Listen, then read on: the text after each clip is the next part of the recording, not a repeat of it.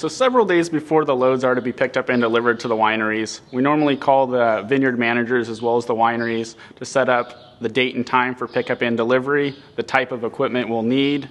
the number of loads we'll need to pick up, as well as the location of the ranch. We then take this information, create a dispatch schedule from it, which our dispatchers then use to coordinate their truck drivers for pickup and delivery of the actual loads.